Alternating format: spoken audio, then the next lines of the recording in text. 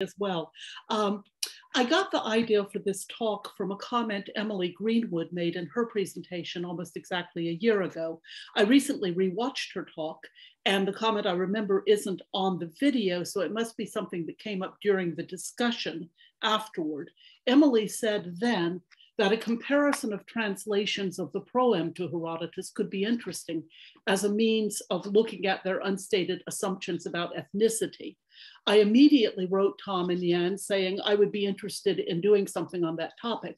And this paper today is the result, although of course it's undergone some changes in the intervening months.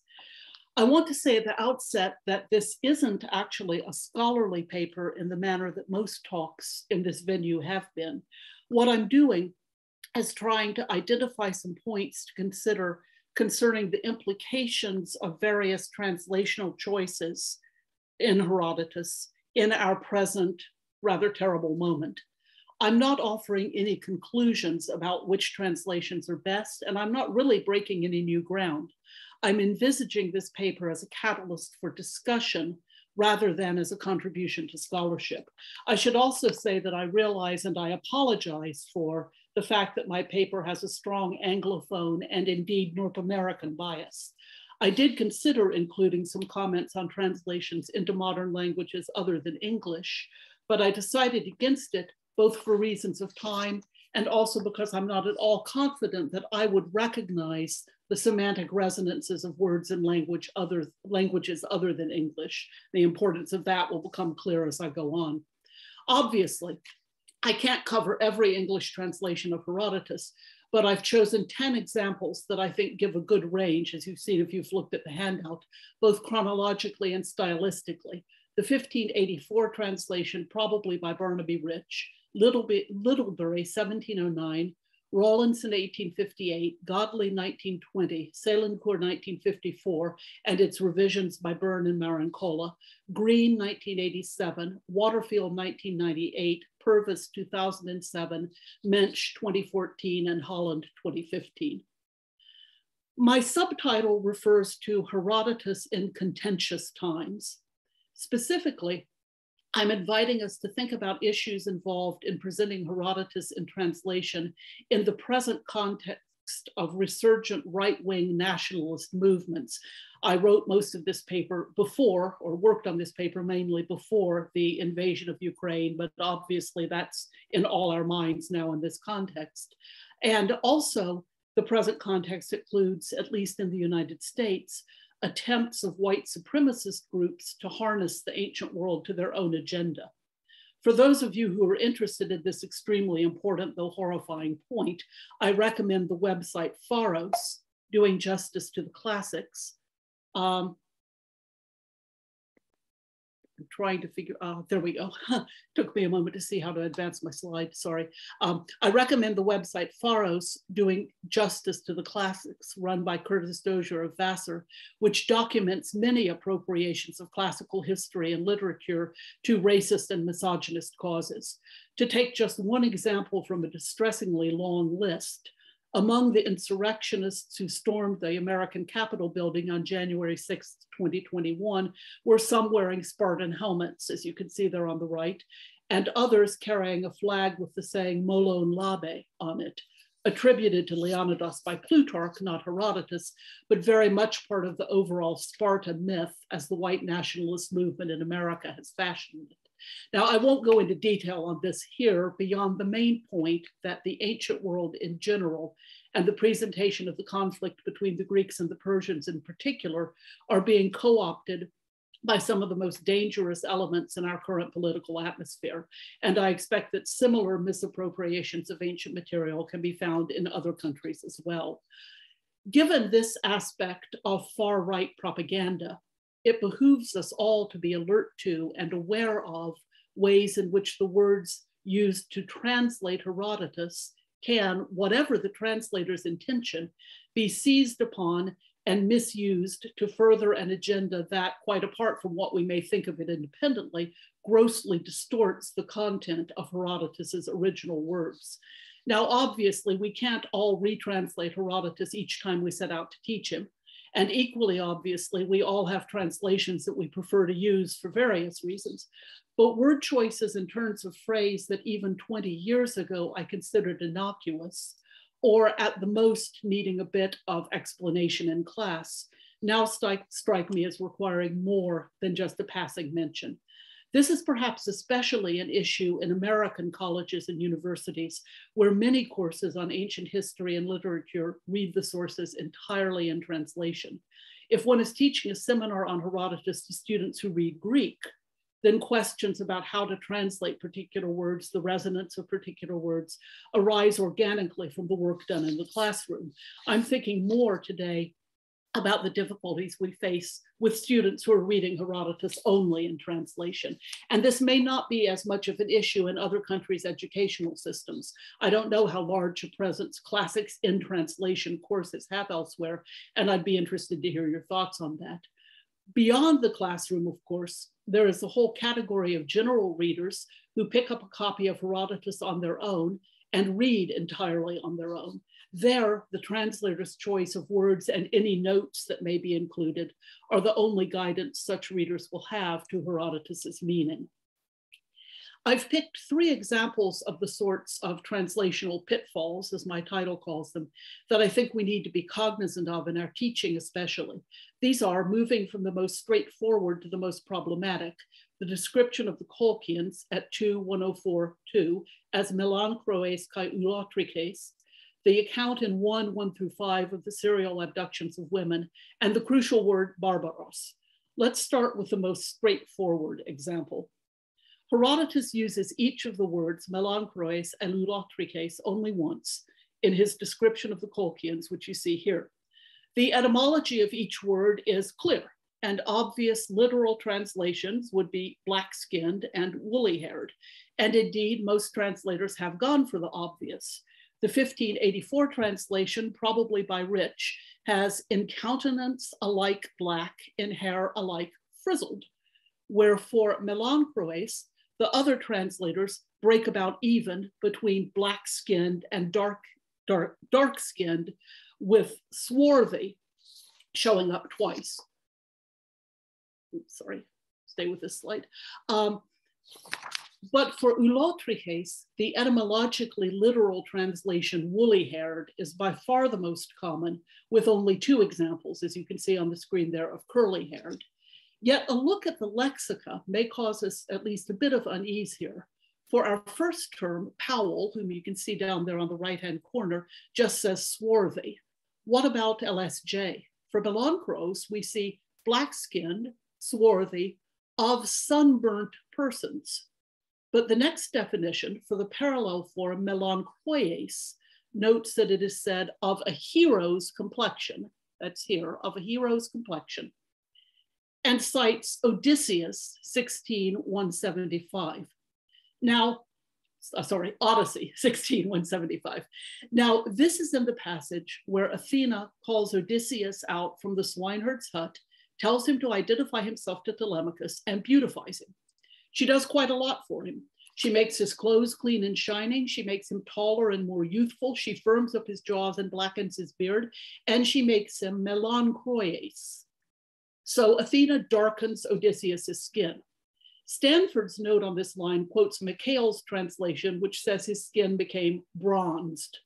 Perhaps the contrast here is that when Odysseus was disguised as an old beggar, his skin was pale and wan, and Athena restored the ruddy color of youth to his face. I'll leave this usage at that for the moment, but we'll return to Odysseus in just a bit. What do the lexica say about ulotrix? It's a rare word. Powell says just curly haired. Um, LSJ says with crisp curly hair like Negroes.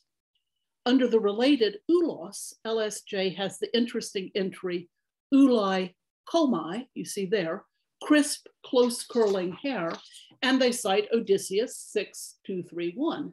And guess what?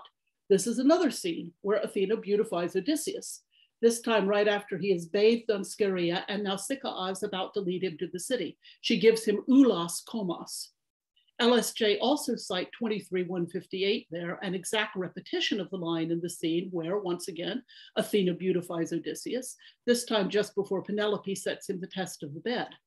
But look at the next definition down here, where LSJ glosses ulataton trichoma of the crisp woolly hair of the Negro.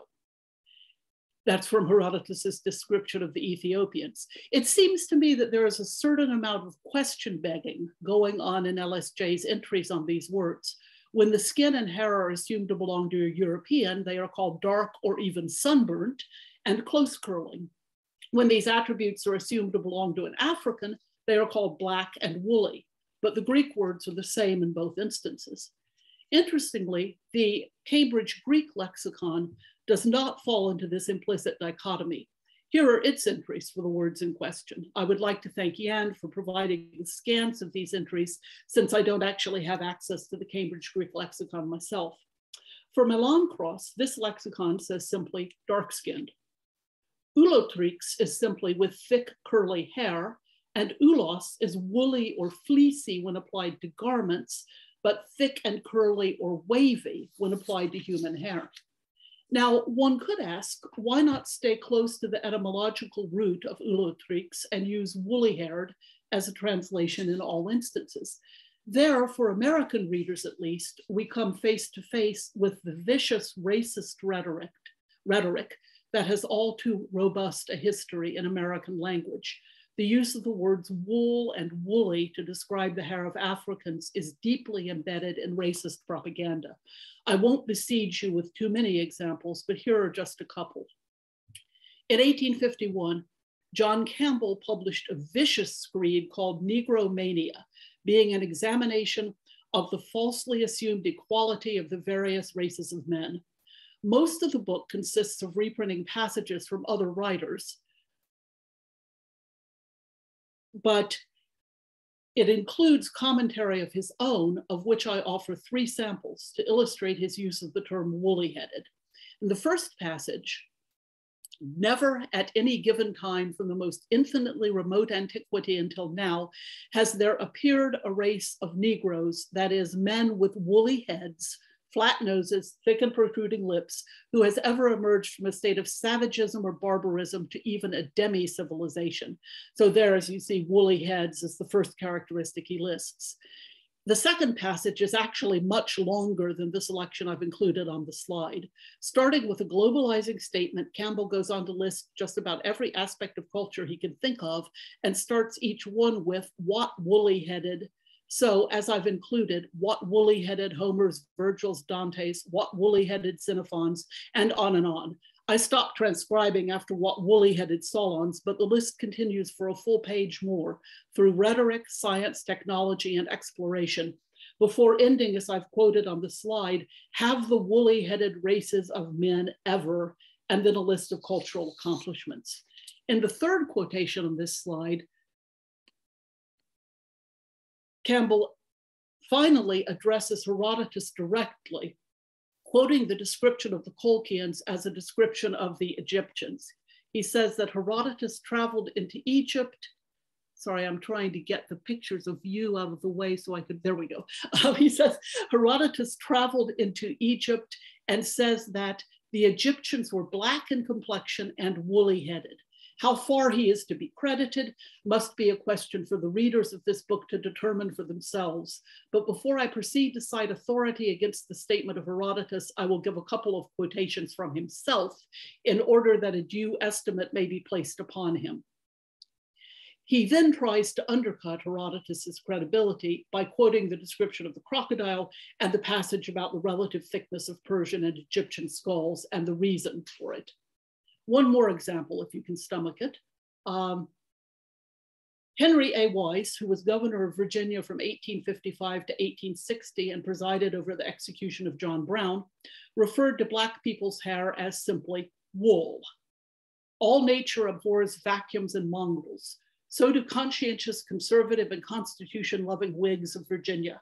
They can put up better with pure Africans, wool, flat nose, odor, ebo shin, and gizzard foot and all, better than they can bear that cross of the Caucasian and cuffy, which you call a mulatto. Now, this isn't just a feature of American culture. Thackeray's Vanity Fair includes a minor character, Rhoda Swartz, a great heiress who is mixed race.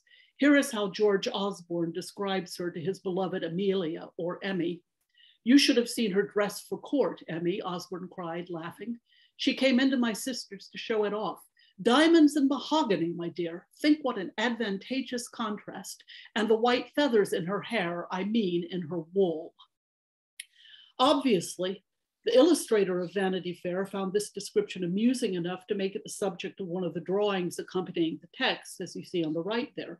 Just to make it completely clear that Thackeray is not inviting us to disapprove of George's racism, the culmination of comes with George defying his father's order to marry the heiress Miss Swartz and announcing that he will instead marry his childhood sweetheart Amelia, whose father is bankrupt. Thackeray clearly intends us to approve of George's return to his loyal Amelia, but look at the terms in which he refuses to marry Miss Swartz. Marry that mulatto woman, George said, pulling up his shirt collars. I don't like the color, sir. Ask the black that sweeps opposite Fleet Market, sir. I'm not going to marry a Hottentot Venus. Now, my linguistic examples are from, go back. My linguistic examples are from the 19th century, but it's worth noting that Black people still encounter racist aggression concerning their hair today. There have been several cases in recent years in both the US and the UK of Black children being expelled or threatened with expulsion from school for wearing their hair in its natural state. The most recent case I found in a Google search was one in Florida on the 1st of March of this year, so just over two weeks ago, where a 14 year old, uh, sorry, a 12 year old girl was told that her natural hair was, quote, a distraction, close quote, and was threatened with expulsion from her school, a private religious academy. So any terminology that seems to belittle Black hair is deeply problematic. While the etymological calque woolly haired is the most obvious translation for ulotrix, were I to venture a translation of Herodotus myself, I think I would go with thick curly hair or something along those lines. Moving on to my second text, test case, I'm turning from racially charged words to a passage that can easily be harnessed to modern misogynistic rhetoric. This is the widely discussed and highly contentious opening passage where Herodotus gives the version of Greek heroic myth that he says is offered by the Persian logioi. And I'm resisting the temptation to digress on how, the word, on how the word logioi should be translated. As we all know, the stories he recounts focus on the abductions and counter abductions of women from Greece and from Asia. The question of what exactly Herodotus is doing with this Persian version, why it is here at the very beginning of the histories, what its tone is, and whether or not he endorses the view put forward by these Persian logioi is obviously far beyond the scope of what I'm discussing today. My focus is on how translators' choices affect modern students' readings of this section. Herodotus uses the word harpage and the verb harpazdo throughout this passage. Here on the screen, you see the passage where I have bold-faced every use of the words harpage and harpazdo in any form.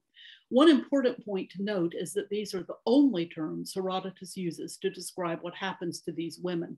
He does not vary his vocabulary at all in this passage.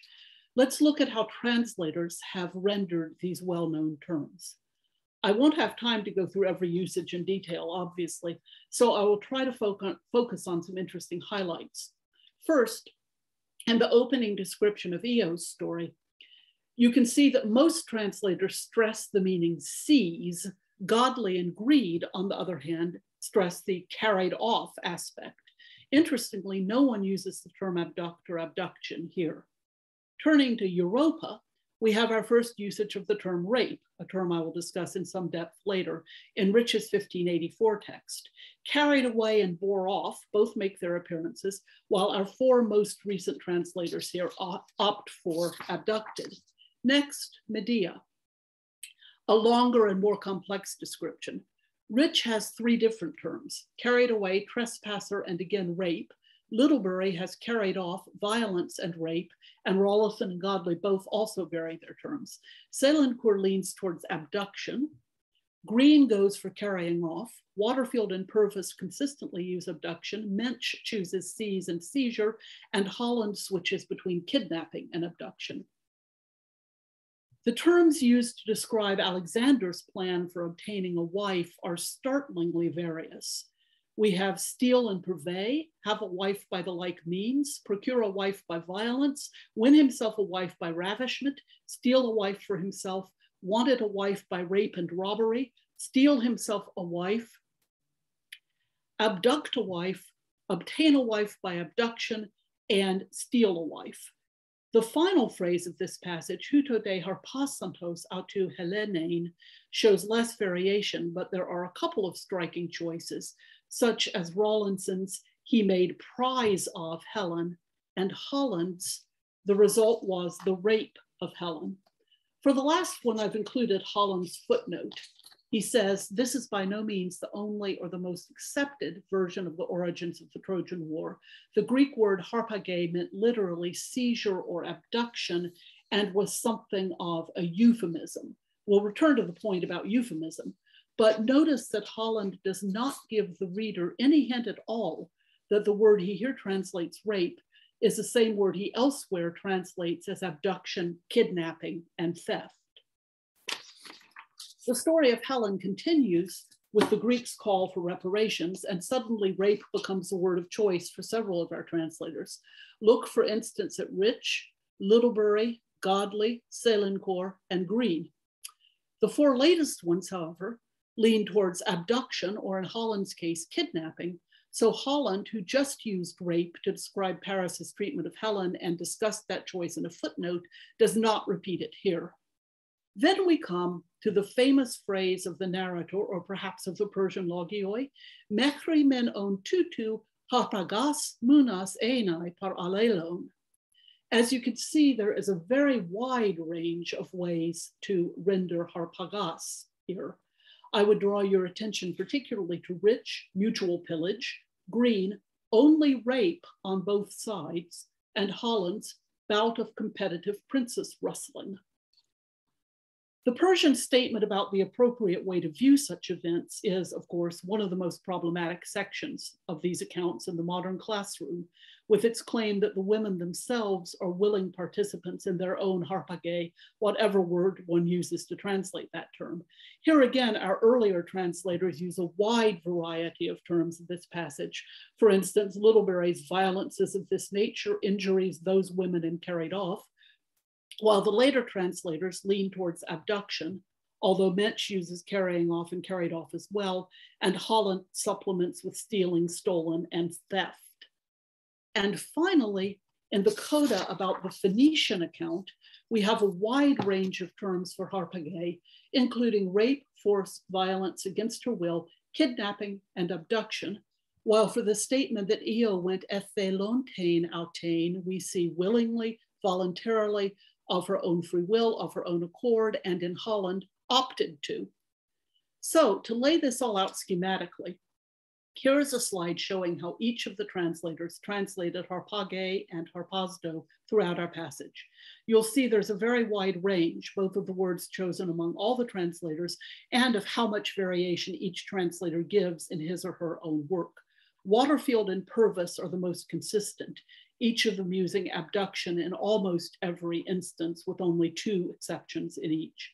On the other end of the spectrum, we find that Rich and Rawlinson each use 10 different terms for harpage and harpazdo, while Holland uses nine. The variety of terms translators choose to translate these Greek words is quite striking. I understand, of course, that translators are attempting to avoid the boredom of repeating the same word, abduction, for instance, over and over. And certainly a case can be made for using kidnapping or seizure or even perhaps theft if one accepts the implication that women are a form of property. But as my comments in passing have probably made clear already, I find the use of the term rape to translate harpage extremely troubling. In fact, I think its use distorts what Herodotus is saying in this passage. The problem, of course, is that traditionally rape in English could mean abduction. It presumably, in fact, that was its original meaning coming from Latin rapere. And of course, it is easy to see how the meaning sexual assault developed from the meaning abduction, since in most, or at least many cases of abduction, the purpose and the end result were sexual assault. But the persistence of this now obsolete or at least um, unusual meaning in translation has led to an unfortunate overlap of meanings of the word rape. One can still see, for instance, in art museums, paintings labeled the rape of so and so, meaning the abduction. Here, for instance, is a painting of what is very clearly the abduction of Europa. We know, of course, that this abduction leads to her sexual violation. But what the painter represents here is the moment of abduction and obviously not the moment of sexual assault. Examples could, of course, be very easily multiplied with images that are familiar to us all of the rape, quote unquote, of Ganymede, as well as of various females. I'm laying this out at some length because I think it is a serious pitfall for talking about this passage in Herodotus with our students. In 35 years of teaching, I have found that modern American students are almost all of them entirely unaware of the use of rape to mean abduction. When they read in their translated Herodotus about the rape of Helen, they take that to mean clearly, unambiguously, and only that Paris sexually assaulted Helen. I used Green's translation in class once, and I remember one young woman almost in tears at his statement that up to this point it was only rape on both sides, and others so furiously angry at what they thought Herodotus was saying by that sentence that it left them quite hostile towards Herodotus and colored their entire reading of the rest of the histories. I've just used the phrasing what they thought Herodotus was saying, and I did so advisedly. However, we interpret the tone and import of the opening logos, I think it is at any rate clear that Herodotus is not here foregrounding violent sexual assault. The Phoenician coda at the end does indeed make a contrast between Harpagon and a young woman who is Ethelontane, but the contrast there is clearly between the idea that she was kidnapped and the idea that she embarked on the ship voluntarily. In other words, the point at issue is whether she left of her own accord, not whether she had sex of her own accord. In fact, of course, we're told that she left voluntarily because she had already had sex and become pregnant. But again, the contrast between Harpagon and Ethelontane concerns the manner of her departure, not the consensual aspect of her sexual activity. There is indeed one passage in the histories where Herodotus does talk about sexual assault, rape in the sense that we use the word today, and that is at 8, 3, 833. Describing the Persian army's progress through Phocia, Herodotus mentions in passing that Kaitinas diokontes helon ton phokeon pros toisi orasi, kai gunaikas tinas diepteran misgomenoi hupopletheos. I won't go through all 10 translations for this, but I've given you a sample of four. Godley translates, did certain women to death by the multitude of their violators. Selincourt has, some women were raped successfully by, successively by so many Persian soldiers that they died. Green has, some women too, they murdered with the multitude of those that raped them. And Holland offers, gang raped the female captives so repeatedly that some of the women died. Clearly, when Herodotus wants to talk about violent sexual assault, he can make his meaning plain. And it is striking that three of these four translators, all four of whom used the term rape to mean abduction in the opening logos, here use it for this particularly horrific description of sexual assault. Can we feel, can we feel confident, however, that Harpagon Harpazdo did not carry the double meaning abduction and sexual assault, paralleling the English usage? What do the lexica say about the meaning of these words? Let's start with LSJ again. Strikingly, their entry for harpazdo does not include rape as a possible meaning.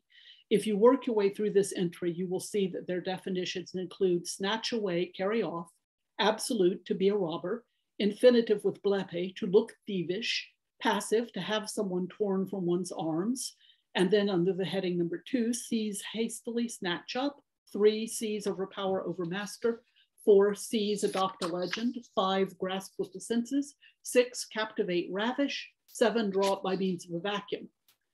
But when we turn to harpage, we find as the very first definition, seizure, robbery, rape.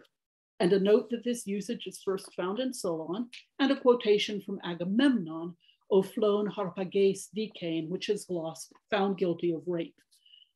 Now, this looks damning for my argument that rape is a translation, is a mistranslation of Harpagay at first glance. But the Solon passage very clearly refers to the meaning robbery. They, they steal with rapaciousness, one from one source, one from another. If we look at the passage in question in Agamemnon, we find that it is part of the herald's speech announcing the fall of Troy. Referring to Paris, the herald says that he has, quote, been found guilty of abduction and theft in Sommerstein's translation. And look at the note.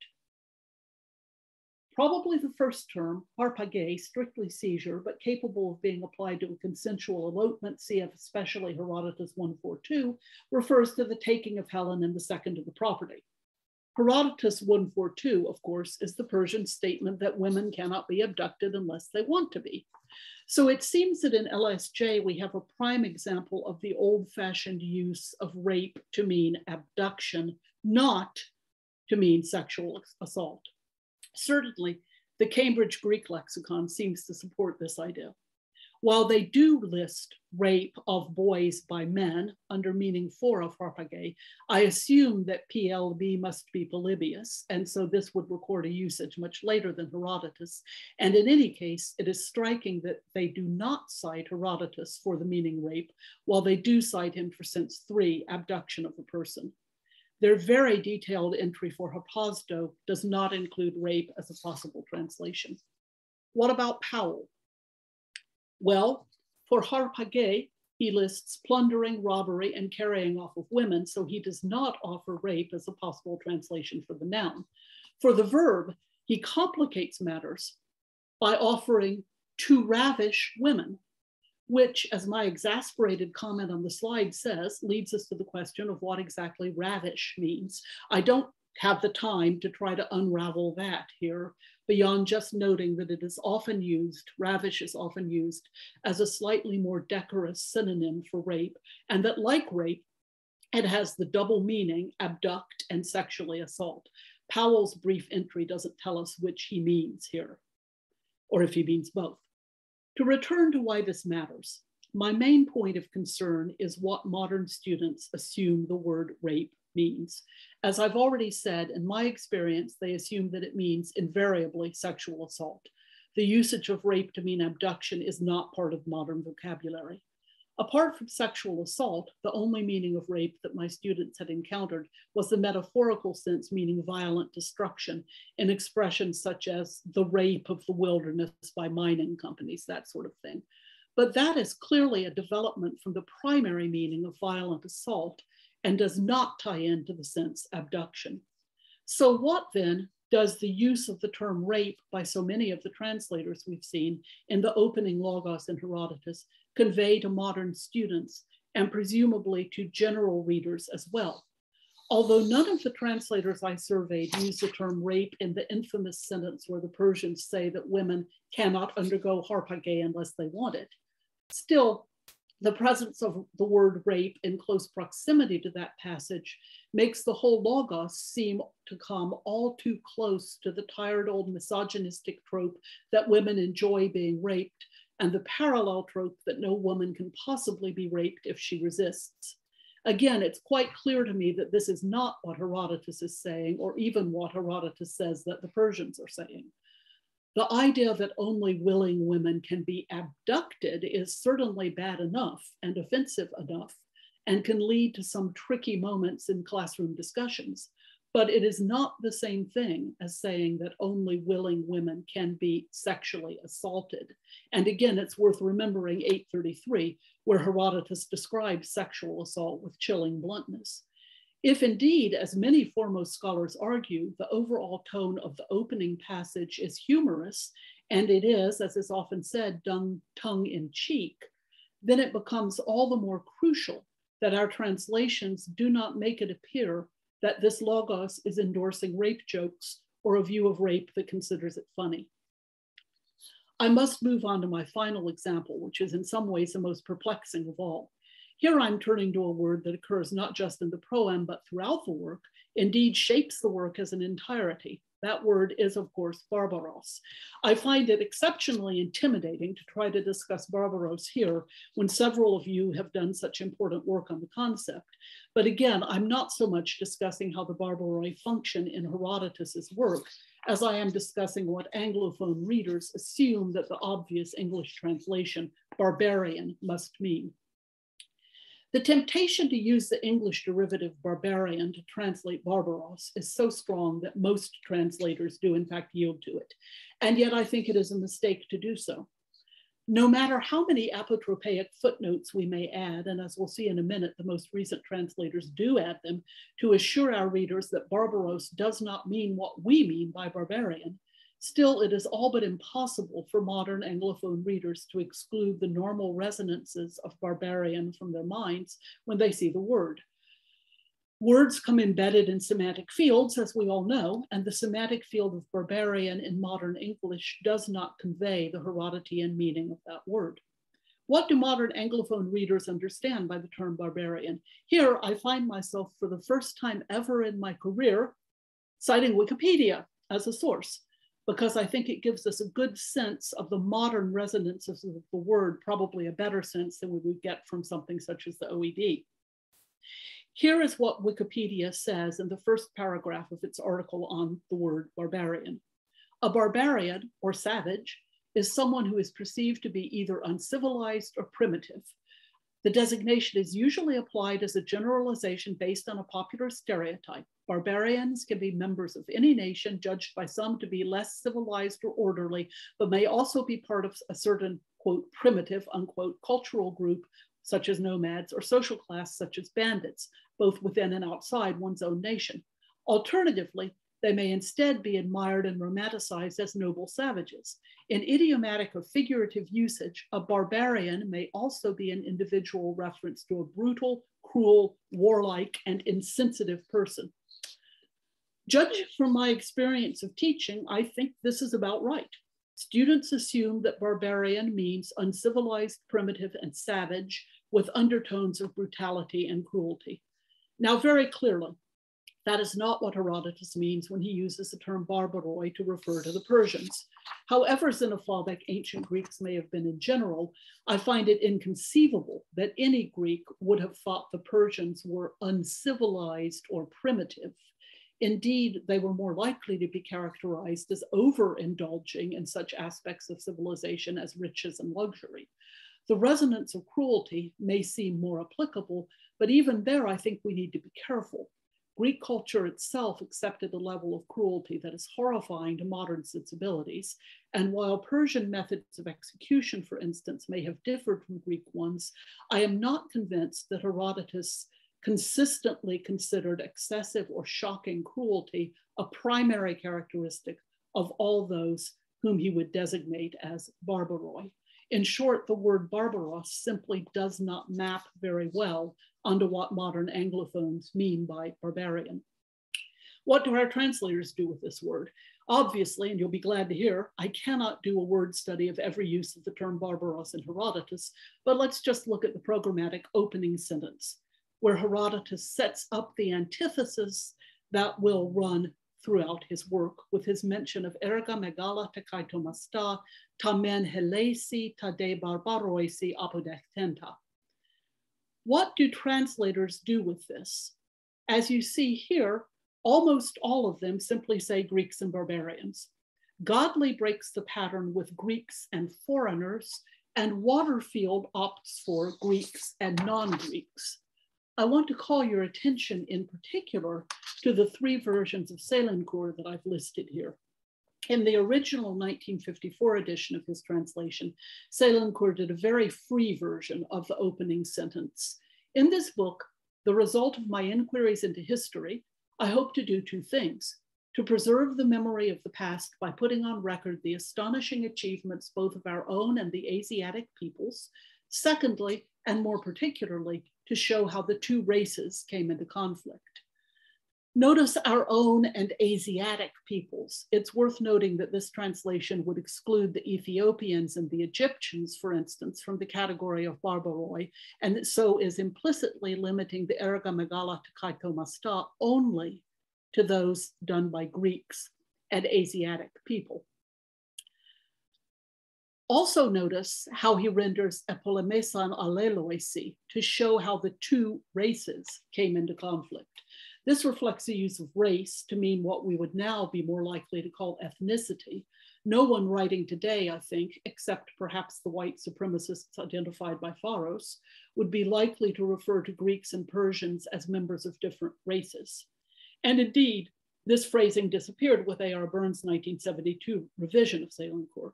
Burn preserves a good bit of Selincourt's wording, but he changes the Asiatic peoples to other peoples and replaces Selincourt's the two races with a simple they.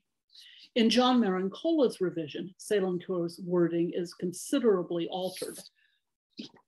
Achievements now translates tagenomena exanthropon and erga megala takaito are more precisely rendered as great and marvelous deeds. Our own and other peoples is gone, and instead we have some displayed by Greeks, some by barbarians. And the final clause moves away from Burn's vague they to the two peoples. I have the 2003 imprint. I don't have the 1996 one. So I don't know if John had made all these revisions already in the 1996 version or if he tweaked the opening sentence a bit for the second revised edition. If he's here today, maybe he can tell us about that. John does not include a note on the term barbaros, but says in his introduction that by this term, quote, Herodotus means without prejudice non-Greeks, close quote. The two most recent translators, Mensch and Holland, each do include a note on the term. Mensch takes very much the same position that I've outlined here. She says, Greek barbaros is largely a value neutral term in Herodotus, meaning only non Greek rather than a primitive, stupid, or warlike person. And then she cites 735.2 as an exception. That is the use of the terms barbara takai to describe Xerxes' words to the Hellespont. Holland's note I find frustratingly ambiguous. He says all non-Greeks were barbarians, a term originally signifying incomprehensible language, but later used derogatorily to indicate cultural inferiority. When he says later used derogatorily, what does he mean by later? If he means that Herodotus considers all barbaroi, including the Persians and the Egyptians, to be culturally inferior to the Greeks, I think he is mistaken, but that may not be what he in fact means. To recap, Almost all our translators use the obvious choice barbarian to translate barbaros. I'd like once again to look at the lexica and see if they agree that this is the appropriate choice. Here they are. First, LSJ. You'll see that they lean strongly towards non-Greek and foreign, as does Powell down there at the bottom. If we look at the Cambridge Greek lexicon, we find, this surprised me, what I can only call a missed opportunity since that lexicon translates barbaros consistently as barbarian without specifying what barbarian means. I am very hesitant to disagree with scholars of James Diggle's caliber, yet I persist in thinking that barbarian is at least a potentially misleading rendering of barbaros. And to circle back around to my opening points, it makes me uneasy because there is now so strong a thread among far right rhetoric of casting the West, capital T, capital W, as the guardian of civilization and culture, and in particular of foregrounding the Persian Wars as a conflict between Western civilization and an external threat by, well, barbarians.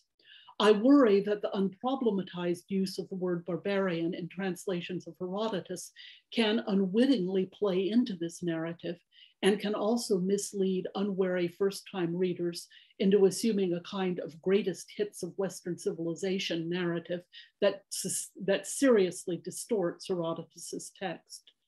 But here I run up against the obvious question of what term my ideal translation would use instead, and I have no easy answer. Foreigner is a possibility, but then we would have to use another word consistently for xenos. Rosaria Munson drew, drew attention in Black Doves Speak to the importance of the passage at 9.11.2, where Herodotus notes that the Spartans called the Persians xenoi and comments xenus gar ekaleon tus barbarus. Xenoi is what they called the barbaroi.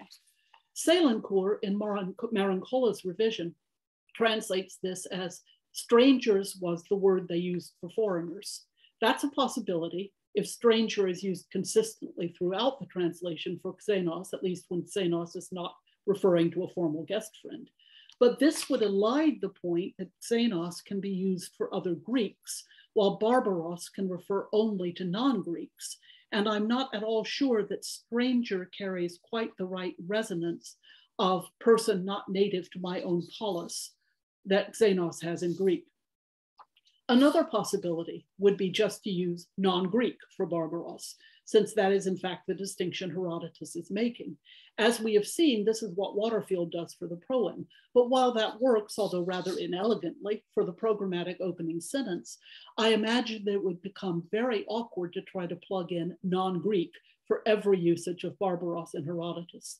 So I'm left at something of an impasse. Barbaros is obviously one of the most important words in the histories, Barbarian does not seem to me to be the right translation for it, but I am unsure what I would recommend in its place. To conclude, none of the points I've made here is new, and all of them are to some extent merely an indication of the truth of the old saying, traduttore, traditore. But in our particularly contentious and dangerous age, I think we owe it to Herodotus to resist as strongly as we can any compliance, however inadvertent, with those who would harness his narrative for their own destructive purposes. As I warned at the beginning, I have not been able to offer any very helpful solutions here, and we are all to some extent bound to use the translations that in fact exist. I'll be interested to hear your thoughts about these issues and indeed about our responsibilities overall as classics educators in this particular moment. Thank you.